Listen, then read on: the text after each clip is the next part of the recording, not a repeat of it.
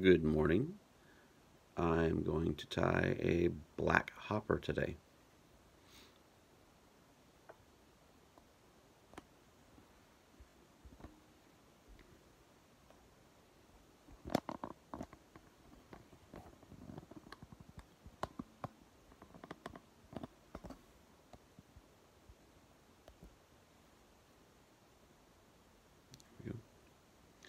All right. All right, this is from the infamous Eagle Claw pack. It's the larger hook, the largest hook of the three. There's three sizes there. I've already mushed down the barbs on the top of the hook and on the point.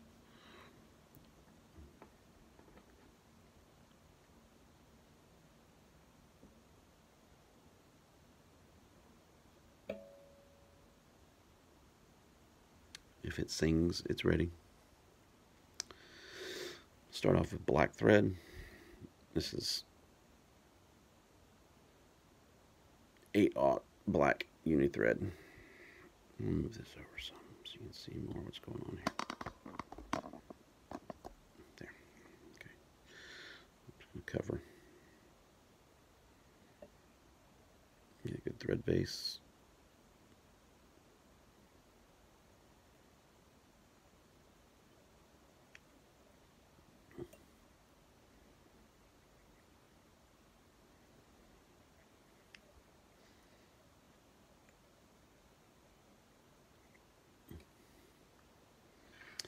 If you're someone who's never tied before, the whole point of putting the thread base on is to make the hook rough so that things can stick to it. Otherwise, if you just put string, put the materials next to the hook and string over it, the material can slide out. This gives it some grip. You can feel the edge is rough. Uh, so my materials are going to be black craft foam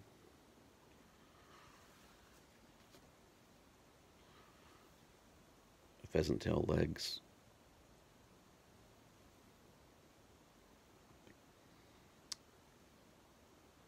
Black macro chenille. And that's about it.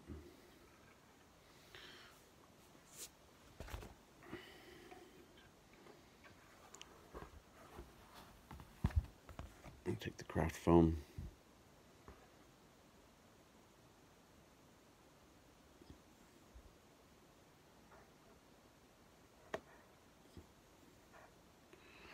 Cut this probably twice as long as the hook.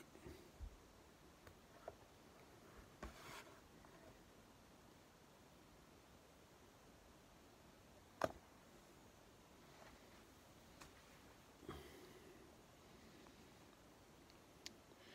going to take that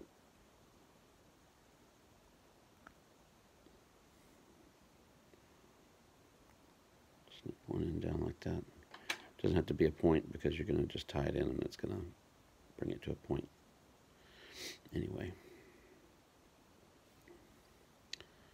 So, oh, I don't want to start with that. I forgot. I want to start with not only the pheasant tail legs, but a pheasant tail barb or two.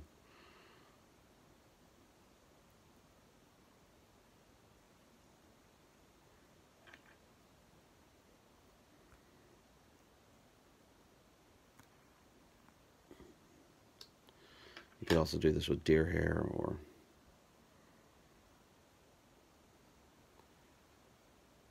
get two barbs. Crickets have little tails that stick out.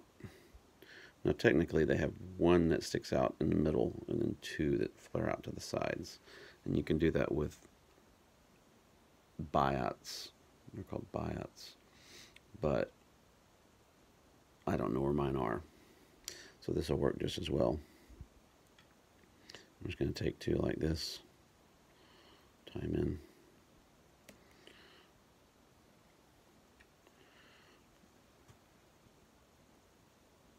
in. Make sure they're on top. Make sure they're the same length. There we go. A couple more turns on that so they lock in. And they keep moving on me.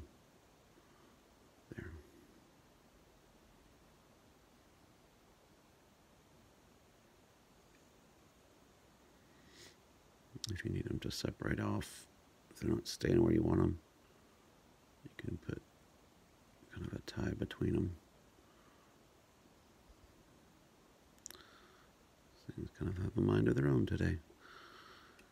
And with this, I'm just going to wrap it around. You don't have to do this.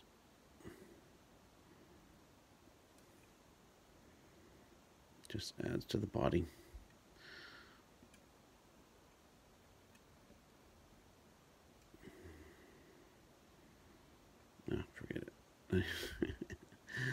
you know, sometimes things just don't do what you want them to do. And then you just take them back off and cut them off. Whatevs. This is what real fly tying is about. It's about doing something you think is going to work and it not working. And then you do something a little different. And that's okay. Because at the end, you'll either have a really cool fly or you'll have a hook with a bunch of crap tied on it. So now I'm going to tie in my foam. I'm going to tie the point in backwards first.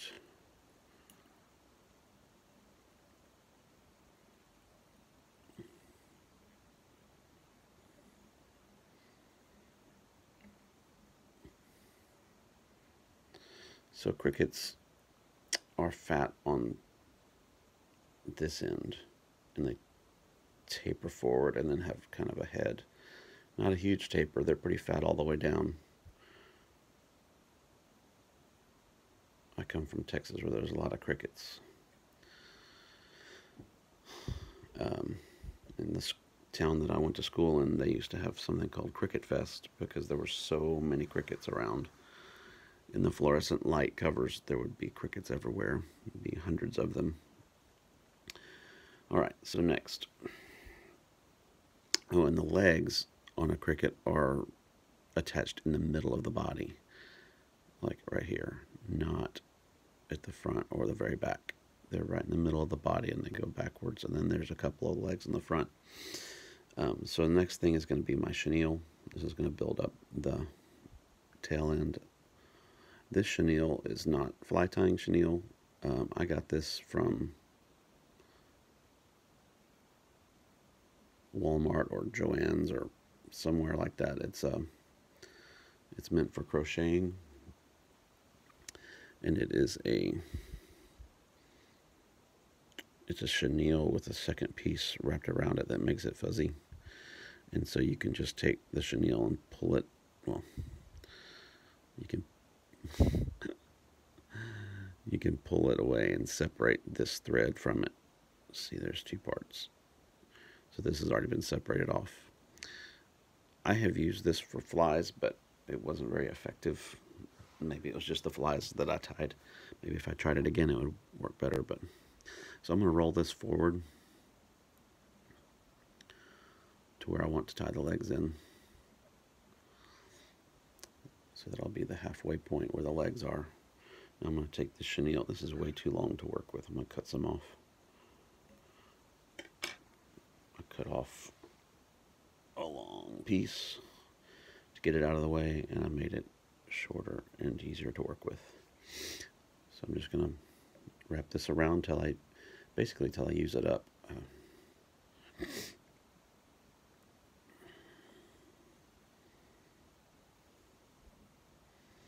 As long as I end up where my thread is.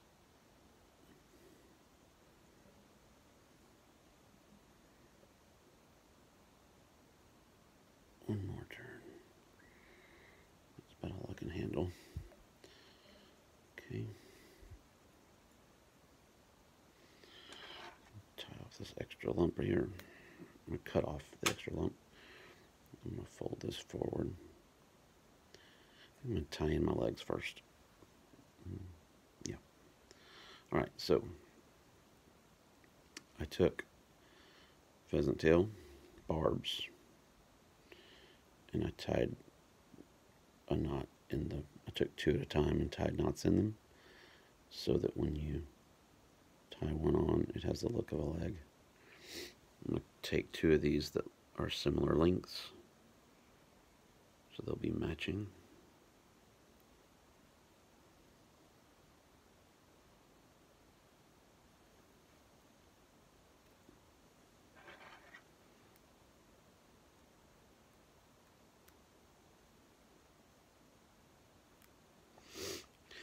These are pretty long ones, so they'll be kind of overstated, which is fine.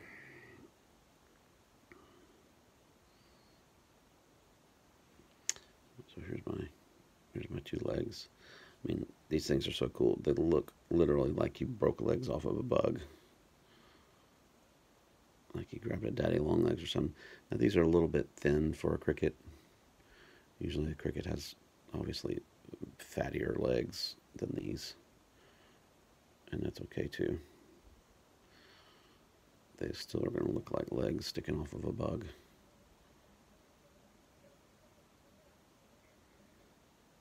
If you wanted to be more realistic, you could maybe tie six together and break off a couple of extra ones so they taper down real good. Okay, there's two. You can even make these out of foam if you want to, but then you get really fat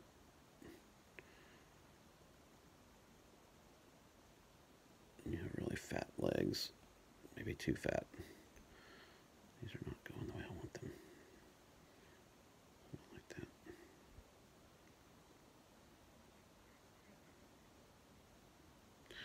Man, that one's really going to look like a dead bug because that leg keeps falling off. Maybe I'll do that way. That's better. Okay tie down that stump.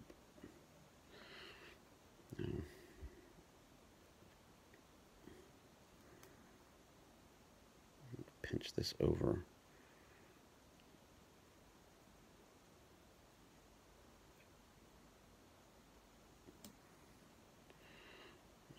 be careful with this 8-aught thread because if you try to pull it down too tight you'll break the thread.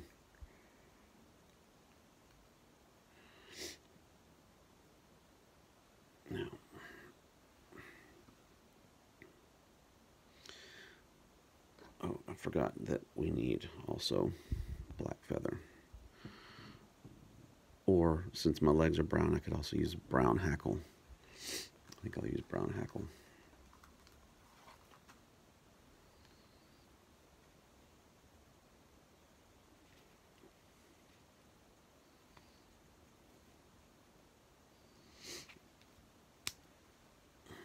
I'm just going to use one of these. It's very light color. It'll give some contrast. That's fine. But what I'm going to do is I'm going to pull this back. I'm going to put it here. I'm not going to pull that back. I'm going to tie this down.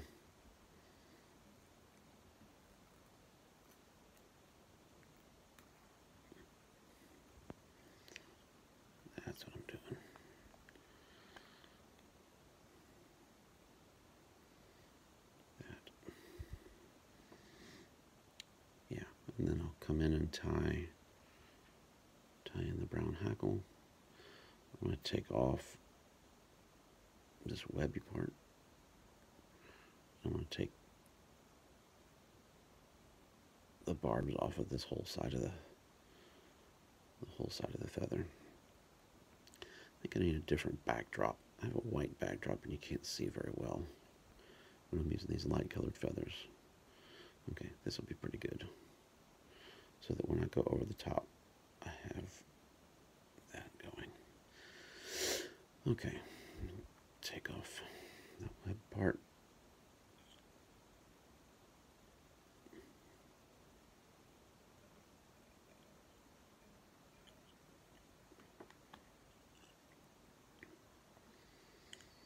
If I wanted a more realistic cricket, again, I would use fatter legs in the back and I would use a black feather here instead. Um, But, you know, sometimes contrast attracts the fish. It'll make it think that it's a little bit better bug than the normal. Okay. Alright, so go back forward a little. That little speck of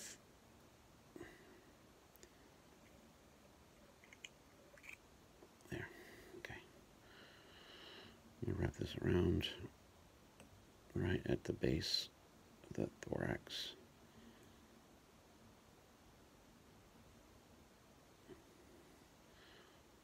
cross itself, make it flare out some. So you get several turns here.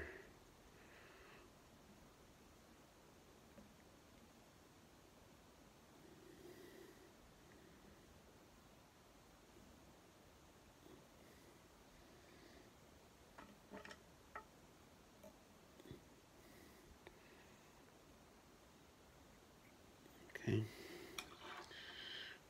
Trim that off. Now this fly, well, I could probably tie 100 flies like this and they could all be the same, or I could tie 100 flies like this and they would all be different. Um, just kind of the way that I tie flies. Bring this forward some. I'm going to tie this. Like that. Make sure it stays on top. Like that. Then I'm going to roll this back, back here to where these feathers are. Leave that little hump there. I'm going to fold this back. It's okay, I'm squishing down these barbs. I'll push that forward a touch. I'm pressing down those barbs because I really only need the feathers to stick out on the bottom, not on the top. Should I keep going until I get that a little more defined like that. So this is a half hitch. What I do is I wrap this around my finger and cross underneath and then put that down on the hook, touch the hook and pull it off my finger. If I can get it to come off. Come on. There. And I'm going to pull it tight underneath the hook without catching the barbs of the feather as much as possible do that again. So over my finger and under my finger so that it crosses. Put that down in the groove. Pull it down. I'm going to hold it here so it doesn't catch the barbs. There. And then I'm going to go for my final tie off. I'm going to go over my finger once. I'm going to go over my finger again, but behind. Pull this down a little bit. See? So went over the first time here, over the second time here, pull that down so I have enough string to work with and cut it off. And then, so that cut off the tag right here. I'm going to go in this loop. I grab it kind of with my fingernail like that so I can move it. And I grab the second string. Pull it through and put it back where it was. I go through again, grab the second string, pull it through again, and this time with the loop being right in the groove where I want it, I'm going to hold this so that it doesn't go anywhere as I pull it down. Otherwise it can flare over and catch your feathers and get in the way. And that's all I need to tie it off, just that one tie. Just pull it down tight. Come in and snip that. Now, I could have made this a little longer on the hook here, which would have used up more of this, but I think it'll still be fine. I'm going to take this. You can either cut a V notch out of this so it looks more like wings, although crickets don't really have wings. They have yeah, they just have a smooth body. So I'm just going to round this off or kind of point it in and that'll be fine.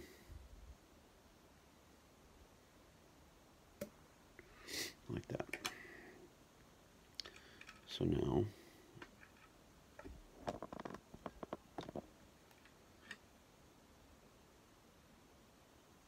have a cricket body with buggy legs.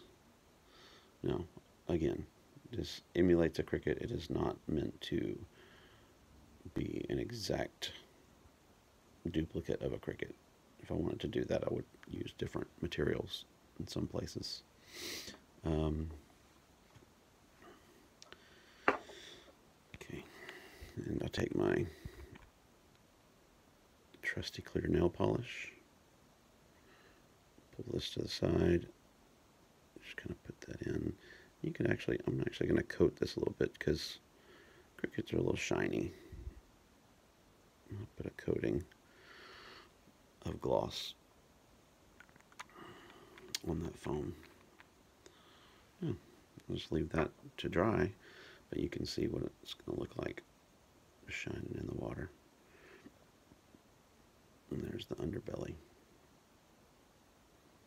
So, I could have tied that same thing on a shorter hook, or I could have made this go further back a little bit would have given the body a little more curve. If I tied another one, I would probably do that. I'd probably bring it back to here instead of there. But otherwise, uh, I think it'll catch fish. So there's a black hopper. Hope you enjoyed it. Good day to you.